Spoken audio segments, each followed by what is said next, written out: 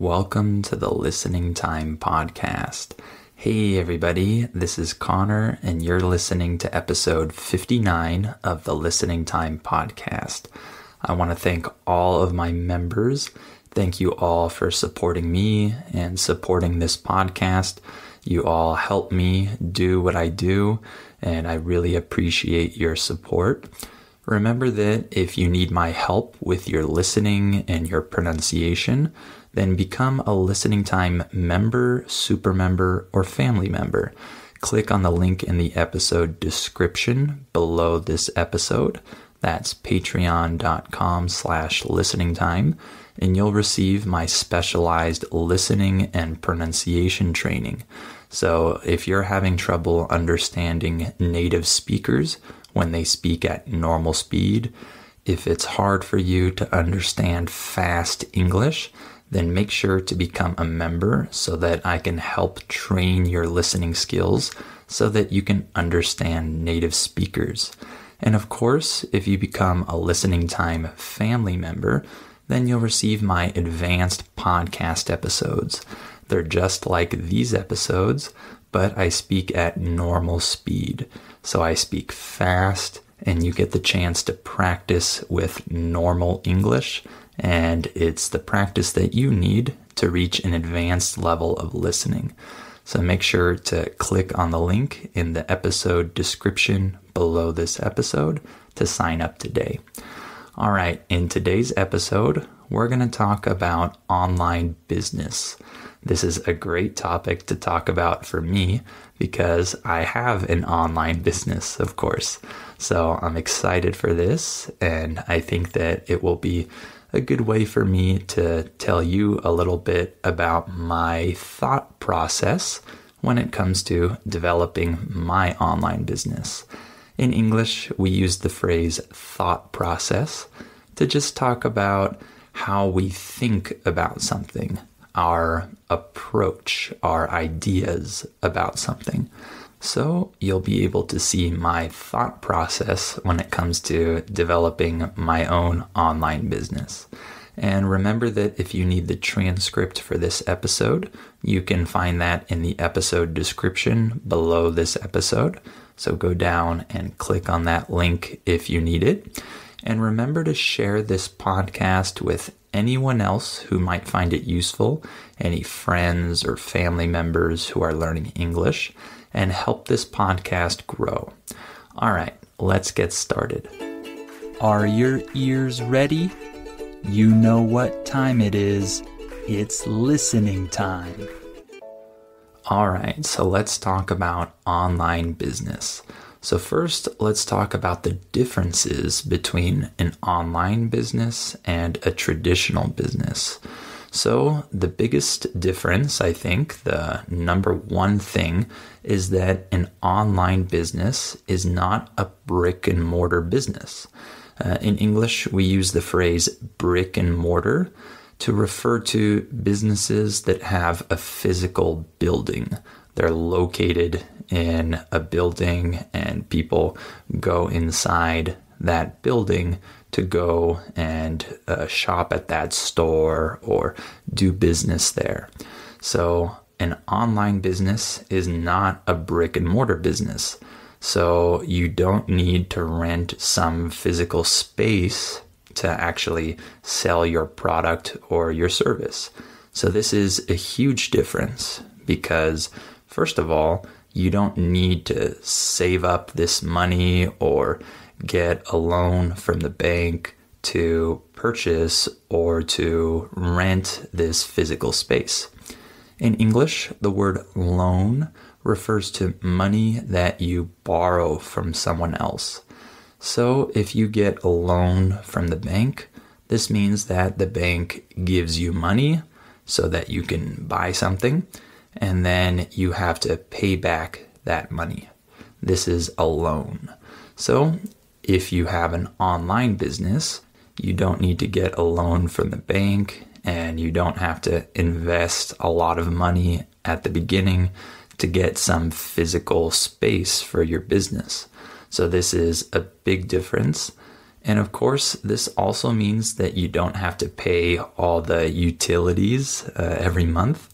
In English, the word utilities refers to the electricity, the water, the gas, all of those things that you have to pay when you rent some building or apartment, uh, those extra costs that you have, those are the utilities. So you don't have to pay that. And maybe the biggest factor when it comes to this is that if you have an online business and not a brick and mortar business, you can maybe have a wider reach. Uh, in this case, when I say a wider reach, I'm saying that you can reach more customers in farther places. More people can actually see your business and become aware of your business. In English, the phrase become aware just refers to knowing something. So if I'm aware of the news, this means that I already know the news. So more people can become aware of your business if it's an online business because you're not limited to a physical space.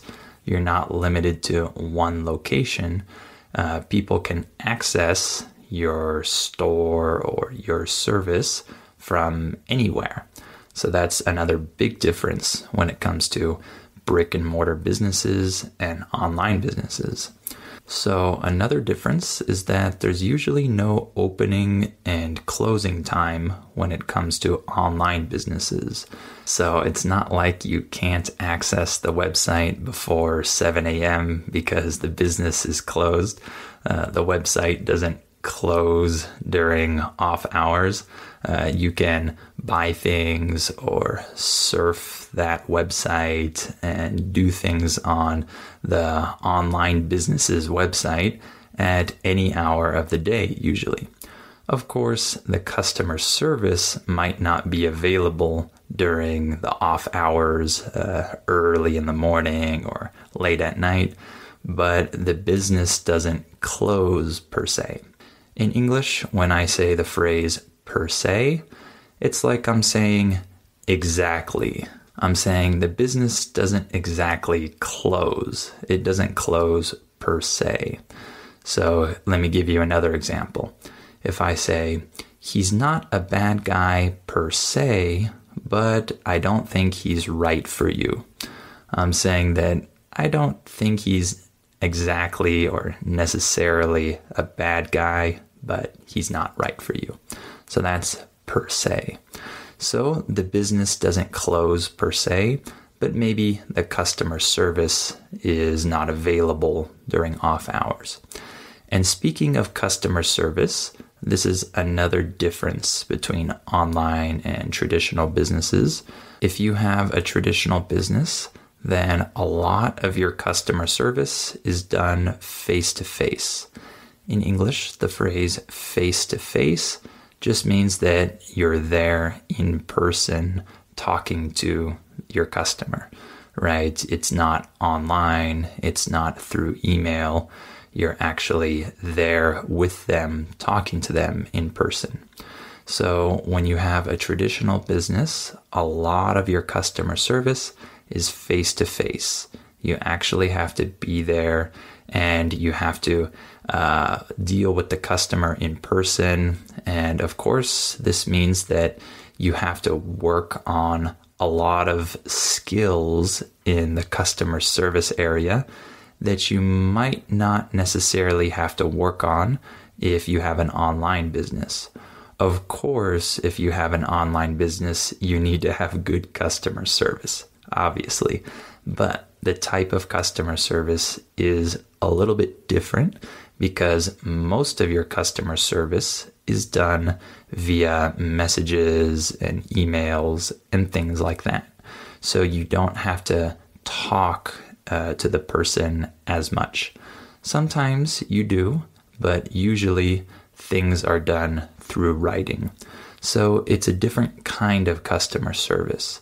When you have an online business, you have to be good at responding to messages and emails. You have to be a good writer. You have to imagine how your writing is being received by the other person. You have to pay close attention to the words that you write and the tone that comes across in your writing. In English, when we use the phrase comes across, we're talking about how something is received, how some message is received by another person. So if I say, uh, he came across as arrogant, I'm saying that the other person or the other people viewed him as arrogant based on what he said. So, customer service is a little bit different. If you have an online business, you have to work on uh, writing good responses and coming across well. And if you have a traditional business, you have to work a lot more on your customer service skills in person and how you talk to people. All right, now let's talk about how to start an online business. So, one of the first things you need to do, or maybe the first thing that you need to do, is to identify your ideal client or your ideal customer. What is this? Well, this refers to the idea of the perfect person that you're trying to sell to. So, for example, maybe your ideal client is someone uh, between the ages of 20 and 30 who is trying to uh, start an online business and they don't know where to start and they don't have a lot of money to invest and they are not happy with their studies or they're not happy with their job and they're looking to change their life and start an online business. And maybe that's your ideal client, and you're trying to sell them some training which will help them start their online business. So you see how detailed I got when describing the ideal client in that situation. This is how you're supposed to do it. You're supposed to try to identify the details of the perfect person that you're trying to sell to. You want to get as detailed as possible so that you have the best possible idea of who is going to buy your product or your service. If you don't do this, then you might be aiming for an audience that's too general. In English, the word aim refers to uh, pointing in a certain direction and firing a gun. So, this is the literal definition of aiming, right? You point your gun in a certain direction but we use it when we're talking about many things. So you have to aim in the right direction with your business or just in your life. So if you don't develop a good idea of your ideal client, then you might be aiming for an audience that's too general and you might not be able to sell your product or your service well because you don't really know the profile of the person who's probably going to buy your product. If you know this profile, then you can tailor your product and your service to that type of person. In English, when we use the word tailor, we're saying that you uh, change and accommodate uh, something to fit a customer's need or to fit someone else's need you're tailoring towards that person. Okay. So if you know your ideal client, you can tailor your service and your product and everything about your business uh, to suit that customer's uh, desires and interests and needs. All right, after you have your ideal client in mind, you have to develop the right product, of course you have to develop a product that is good quality and you have to be solving some problem. If you're not solving the client's problem, then you're not going to be successful. So you have to sell the solution to somebody's problem. For example, in my own business, I'm an English teacher, of course, and my customers' problem is that they can't understand native English and they can't uh, communicate well because of this. Or maybe they can't pronounce things well and they don't feel confident in their pronunciation. So these are problems that my students have. I used the word customer, but in my case, I think of them more as students. Uh, so if my students have this problem, I need to provide the solution. And so that's why I made this podcast to help people practice. And that's why my membership includes very detailed, specialized training to help people identify the correct sound patterns in English and understand normal English spoken at normal speed. And this is why I've developed my advanced podcast episodes and everything else in the membership because I'm trying to solve the problem that my students have. And if I solve their problem, then they're probably gonna sign up to become a member and they're probably gonna remain a member. So I have to develop the right product and solve the problem that my students have. So the next thing you need to do is start a website or use some other service to sell your product or your service. I don't have a website anymore. I don't use a website, but I use the service patreon.com, which allows people to sign up and become members there.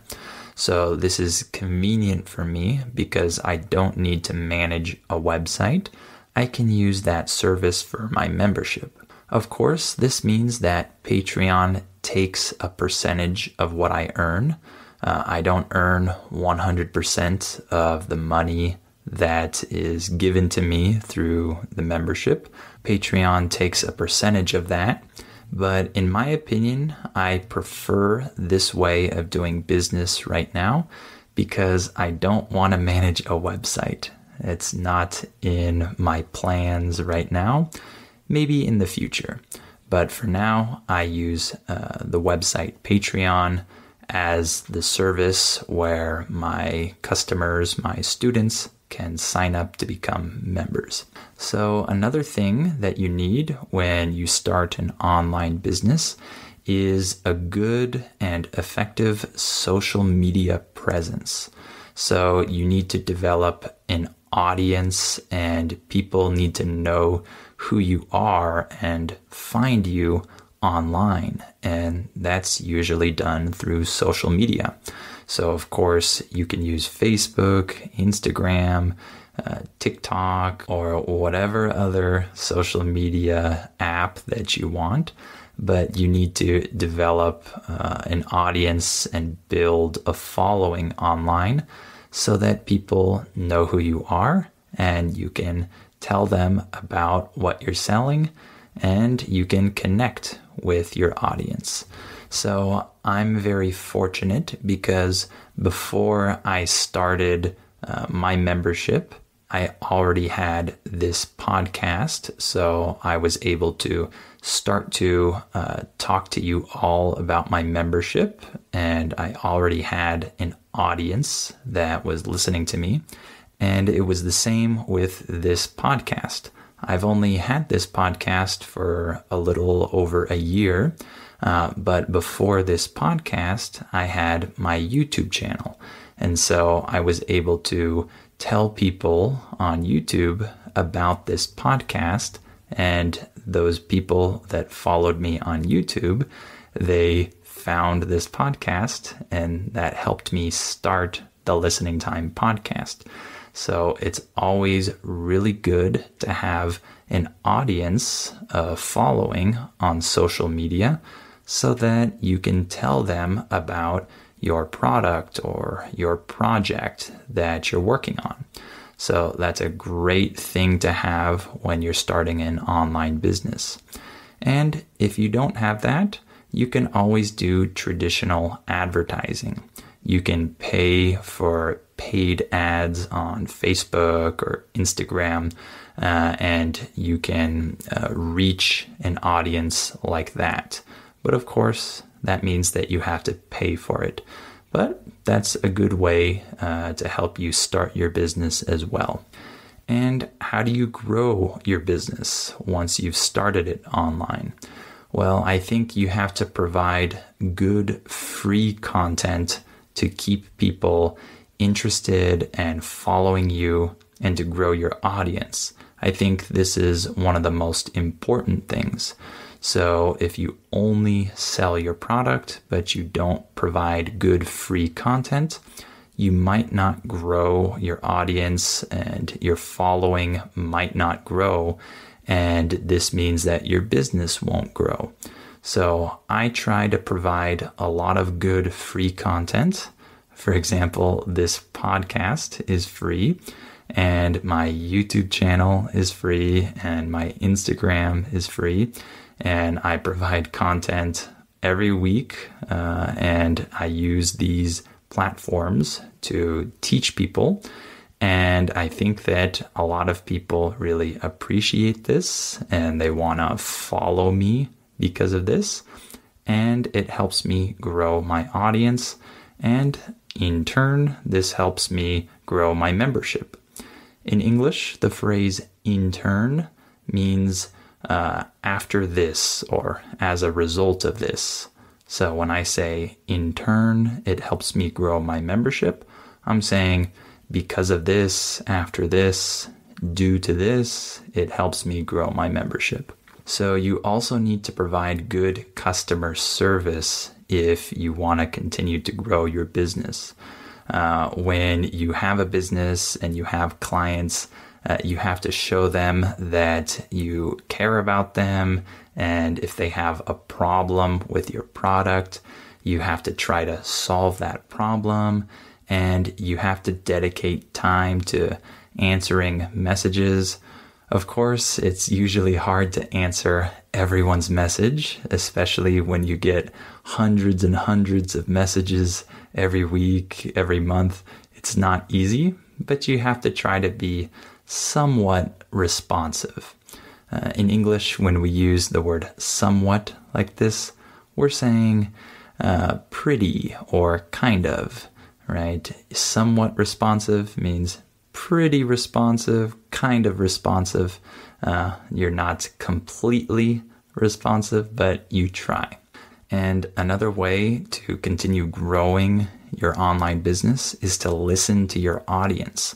If they don't like something about your product, then you can change it and you can get ideas from them. So, for example, before my membership, I had a website and it wasn't that effective. I didn't get a lot of traffic on the website, and I don't think people really liked my model of releasing seminars for 24 hours on that website. And I realized that my audience didn't like this. And so I stopped this. I stopped using this website. And now I have a membership, which my audience likes a lot more.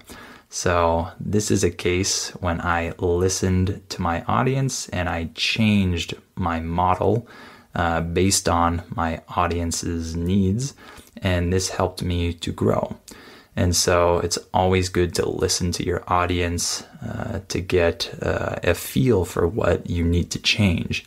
And of course, if you want to grow your online business, you have to come up with new ideas. You have to provide new things for your customers, for your clients. So when I started my membership, I only had a couple things that I was offering. And then slowly I started offering a couple more things. And now, for example, if you become a listening time family member, you get a lot every month. You get an extra podcast episode, you get two seminars, you get a sound training video, you get an advanced podcast episode, all of this every month. And so obviously, I've added to my membership and come up with new ideas. And so this has helped me grow. So overall, I'm happy with how I've started my online business and I've definitely grown, but I have a lot of work to do. I have a lot of work to do before I can uh, do this type of work full time, before I can dedicate 100% of my time to my membership and my podcast. But I hope to get there sometime soon. Okay, so that was just a little bit about my ideas when it comes to online business. I hope this episode was interesting for you. Remember that if you want my help with your listening, if you need my training so that you can understand native speakers, then become a listening time member, super member, or family member. Just click on the link in the episode description. And if you want my advanced episodes, then become a listening time family member so you can reach an advanced level of listening. And remember that you have the transcript available for this episode in the episode description below this episode. All right, thank you for listening, and I'll talk to you on the next episode of Listening Time.